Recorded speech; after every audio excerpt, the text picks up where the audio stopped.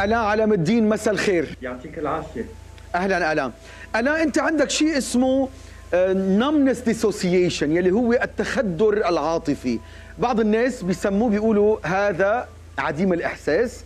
أنت بتقول لا هيدا اسمه انفصال عاطفي أو تخدر عاطفي. شو يعني؟ كلمة dissociation أو انفصال هي مش انفصام بالشخصية إنه حدا بشخصيتين. هي الفكرة إنه في مثل حاجز أو حيط بين مشاعري وبين أنا أو وعيي.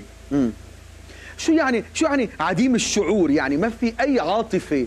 أنا قلت إنه لا بعرس بينبسط وبيبتسم ولا بدفن بيبكي على ميت. هلا آه، في في كذا في كذا level أي. لهالتخدر هلا في ناس ممكن تكون معهم 0% حقيقة. أنا بحالتي لا مش 0% بس تقريبا. يعني يعني إذا حدا مثلك لا سمح الله بتبكي؟ آه، يعني يمكن يبين الجواب شوي غريب بس أنت عم تقول حدا مثلك لما عم بتقول مثلك يعني حدا بيخصني لدرجه إنه بحس إنه إذا مات مثلي آه أنت بتحس إنه ما مثلك يعني أنت كأنك ما عندك علاقة بالموضوع 100% ما عندي علاقة بالموضوع من- منك ما معني. عندي علاقة بالشخص. أعطيني آخر شيء أو آخر حدا زعلت كرماله أو بكيت كرماله أو فرحت كرماله أوه كثير صعب ما بدي أعطي تفاصيل شخصية لها علاقة بغير أشخاص آه، أعطيني بس نموذج. رح أعطي نموذج ما له علاقة بإنسان تما أكون أو خليني أقول رفيقتي عرفت إنه مش من فترة مش من زمان عرفت إنه رفيقتي يمكن يكون عندها مشكلة صحية كبيرة. لما خبرتني بالواتساب كان هيدا الشيء أنا ماني متوقعه أنا متوقع واتساب عادي دردشه أو مم. اذا شيء مشكله شيء مشكله صغيرة. طلع لا مشكلة يمكن تكون مشكلة كبيرة يمكن بدها عملية يمكن آه لأنه هالشيء اجى بشكل مفاجئ حزنت. مم، يمكن حزنت. حزنت 5% من حدا تاني شو حزن. بس حتى هيدي ال 5% هي الاستثناء. بشكل عام إذا بسمع إنه حدا صار له شيء قد ما نكون بين هلالين قراب أنا وهالشخص ما بتأثر. ألا عندك أصحاب تشكي همومك أو عندك هموم بالمطلق بتحس إنه هذا وزر هذا عبء علي آه، بزعل أحبط؟ أه بحس إنه في هم وفي تقل إيه أه دايما. يعني كل ثانية من حياتي. وبركي أهم تقل هو هيدا اللي هلأ عم نحكي عنه. يعني هالانفصال بيمنعني إنه أتعلق بالناس. ففيك تتخيل هيدا كيف بيأثر. ما هي ما بعرف إذا رح تطلع كليشيه بس إنه ما هي جمال العلاقة مع الناس. هي هالتعلق اللي بتخلق هال هالحاجه للثاني اللي بتكون موجودة هالحاجه المتبادلة.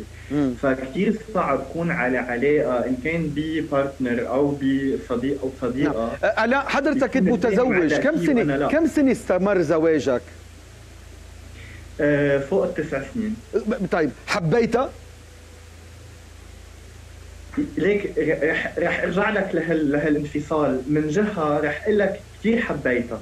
يعني ال- العطاء اللي كنت مستعد أعطيه واللي كنت أعطيه ومن من قلبي مش إنه تمثيل كثير كبير وحقيقي. من جهة ثانية كتعلق ما نحن لما طلقنا كان قرار أخذناه هيك إنه أوكي يلا بنطلق و يعني من وقتها لليوم يعني من سنة وشوي لليوم آه، مع إنه نحن بعدنا أصحاب وبعدنا تشتاق لها بتشتاق لحظة. عندك شعور اشتياق؟ لها ما أنا هيدا اللي كنت جاي لك إياه. إنه مع إنه نحن مش إنه مخانقين وكرهانين بعض فما بشتاق لها مم. مع إنه بعدنا أصحاب وبعلاقه كثير طيبة برضه آه ما بشتاق لها ولا مرة اشتقت لها من هالسنة لليوم. هيدا مثل عن الانفصال. آه، آه، أمك خيك عندك؟ يعني بتشتاق بتت- تتلهف لها أنت برا برات لبنان. عندك لهفة بتقول أمي اشتقت لي كيفك؟ شو أخبارك؟ خيي. ولا بس واجب؟ لا السؤال ابدا. آه، ابدا. ما بعرف شو يعني أصلا. يعني حتى إذا في خبرك شيء صغير إنه بتذكر لما كنت صغير و حدا من رفقاتي يحكيني عن خيه. بتذكر أول مرة سألته بالحديث وبتحبه لخيك قال لي أكيد بحبه ما هيدا خيي. قلت له أوكي فهمت إنه خيك بس بتحبه؟ قال لي ما عمل لك هيدا خيي أنا قلت مش عم يفهم علي. لما تكرر الحديث كذا مرة مع غير أصحاب صرت أفهم إنه آه في شيء اسمه بحب خيي وبحب أمي أنا ما بعرف هيدا الشعور. أنت أنت سامع عن كونسبت الحب بس مش مطبقه. هلأ يلي عم بحكيه آه شيء كثير محدد الحب التلقائي السبونتاني اللي بيجي للعائله ما بعرفه ابدا. يعني أنا ممكن احب أختي مثل ما بحب رفيقتي يعني إنه هي شخص منيح وبرتاح لها بس إنه بحبها لأن أختي ما بعرف هيدا الشعور بحالة بحالتك أنت بالنمنس ديسوسيشن الطب شو بيقول؟ في علاج نفسي لجأت إلى علاج نفسي؟ آه في كثير إشياء هلأ أول شيء أنا ماني خبير فما يعني يمكن أقول شيء ما يكون دقيق بالمية بس لما حدا هيك يكون عم يسمع يكون متكل على حديثي 100% لا خليهم يشوفوا اخصائي ويعملوا الريسيرش تبعونهم على الموضوع. بس إيه أكيد الطب حكي كثير عن هيدي الفكرة. الفكرة الأساسية هي إنه الدماغ بيهمه يحمي حاله. فلما آه، الدماغ بيشوف خطر بيحاول يشوف كيف بيقدر يحمي حاله من هالخطر.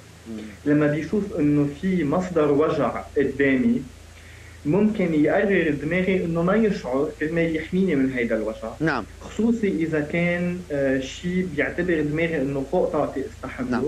وهيدا كثير ممكن يصير إذا أنا ما بنيت الريزيلينس أو المقدره على مواجهة الحزن أو الوجع أو. كنت حابب أقول إنه لفترة طويلة أنا ما شفت أخصائي لأنه قلت ما خلص ما العالم وجع فأنا رح ضل نام وخلص. فبقيت 15 سنة وأكثر عارف إنه أنا هيك بس ما عم بعمل شيء والنتيجة إنه ما اشتغلت لحل هيدا الشيء. آه، من أقل من سنة بلشت يعني قررت إني فوت ب therapy وإلي هلأ فوق ست أشهر فيا ب therapy وبدي أقول فكرة إنه أول شيء مش كل حدا عنده disorder أو اضطراب يعني مريض. وثاني شيء حتى إذا أنا مريض نفسيا هيدي منا منا تهمة يعني مثل ما الواحد أحسنت أحسنت. برافو الا برافو الا منا تهمة. منا منه عار منه يعني ستيغما يعني يعني اعتبر اعتبرها مرض جسدي. يعني اعتبر أنا مرشح أو معي كورونا أو كسرت إيدي أو عندي أو معي سرطان أو اللي بدك إياه. ما في شيء عيب. وبالتالي ما في شيء عيب إني أروح شوف حكيم لأنه أنا لي أسبوعين عم باخذ مشان هيك يعني اللي بقوله لكل الناس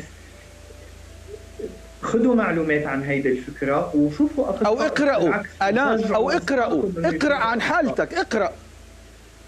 صح 100% ومثل ما قلت إنه ذا healing process عملية الشفاء آه، آه، بتبلش وبتستمر. بس الواحد يقرأ يتنور ويعرف من دون هال هال آه، المجتمعية يلي هي السخرية والتنمر والاستهزاء بوجع الآخر. مزبوط وهيدي بتشمل نشان حتى النكت اللي بننكتها يعني أنا لما بقول عن حدا بشي براسه وبقولها كاهانه آه، بتروج الفكرة إنه إذا حدا بشي براسه هي اهانه، طب ليه إذا بني شيء بقلبي قلبي بيقطش منا اهانه بس بني شيء براسي اهانه برافو عليك. لا بني شيء براسي، أو إذا حدا أنا معصب منه بدي بدي هته بقول له أنت بدك طبيب نفسي. إنه لا ما هي ما يمكن بده طبيب نفسي يمكن أنت كمان بدك. ما هذا شيء كثير طبيعي يعني. 100% سؤالي الأخير لحضرتك الغريزة الجنسية. بالناس اللي عندهم تخدر عاطفي كيف بتصير؟ يعني كيف تعمل العملية الجنسية؟ كيف بتصير؟ كمان ماني أخصائي بس رح أربط موضوعين ببعض. إذا في هيك بسطتها شوي. تفضل الغريزه الجنسية أكيد في لها شق جسدي وفي لها شق نفسي. م. آه، الشق الجسدي أكيد ما له علاقة. إذا في شيء اورجانيك هذا موضوع ثاني أما الشق النفسي أكيد مربوط لأنه كثير له علاقة الشهوه الجنسيه بقد أنا مرتاح مع الشخص الثاني قد أنا معلق بالشخص الثاني قد أنا مستعد أكون فولنربل أو ما بعرف شو الكلمة. قد مستعد متاح للآخر. التاني. صح. فكل ما هالعلاقه آه، كانت معطله بسبب التخدر كل ما هيدا الشيء أثر على العملية الجنسية. أو شفاف مع الآخر. الان بدي حييك بدي حيي جرأتك بدي حيي فهمك.